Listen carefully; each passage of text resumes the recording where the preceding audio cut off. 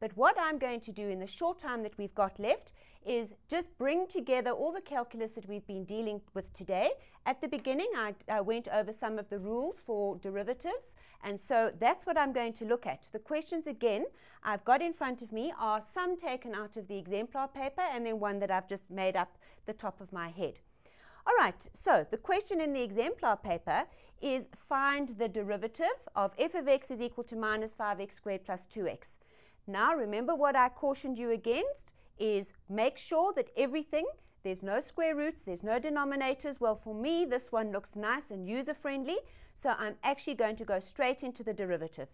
Notice that the function is given in the form f of x, and so I am therefore going to give the examiner my solution or my answer as f dash x, the derivative of f at x. And of course, my laws tell me I must bring down the 2, all right? And I must reduce by 1. And of course, when I do that here, notice what I'm doing is bringing down the 1, so it's 2 times 1, and then reducing my power, which was originally a 1, makes it a 0. And of course, you don't have to do this step. I'm just being really, really, really cautious to assist those of you who are still battling Minus 5 times 2 is minus 10. x to the power of 1 is just x. And of course, 2 times 1 is 2. X to the 0 is 1. And so that would be my final answer. For 2 marks, wouldn't that be so wonderful if you got something quite as simple as that? Right, the second one out of the exemplar paper, which is out of 4. A good indicator that it's a little bit more difficult and that you're going to have to work a little bit harder for those marks. So, remember, this is written as the square root of x cubed. So the first thing I'm going to do is I'm going to write it in exponential form. And the square root is actually something raised to the power of a half. Then, if you remember, my next rule was never, ever, ever have an x in the denominator.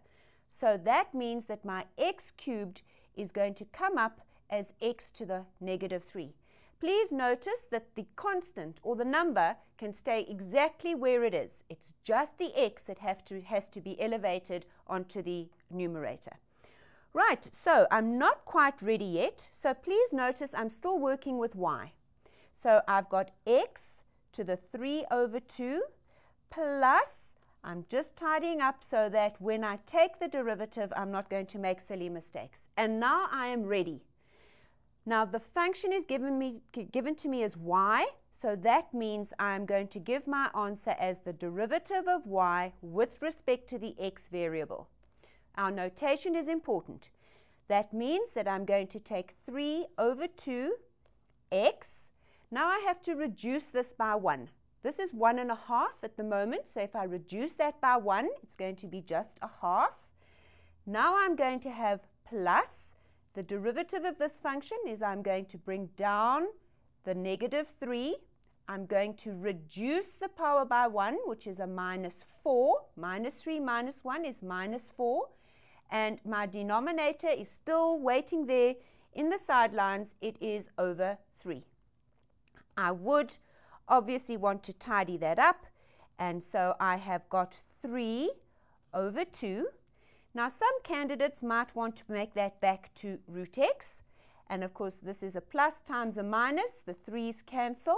So that's minus. And of course I would prefer to make that 1 over x to the 4. All right, my last comment before I leave you is I did say to you that you must always get things into the y form. So if they asked you to find the derivative of y, please notice that you would have to, first of all, take out a common factor in this particular instance, and then you would have to say y is equal to x cubed minus 4x squared plus 5x minus 2 over x minus 1. And if you've just been watching, you would know that this factorizes beautifully And of course, that would cancel, and I would now be able to multiply that out. And voila, my derivative would be 2x minus 3. Lovely question for extension.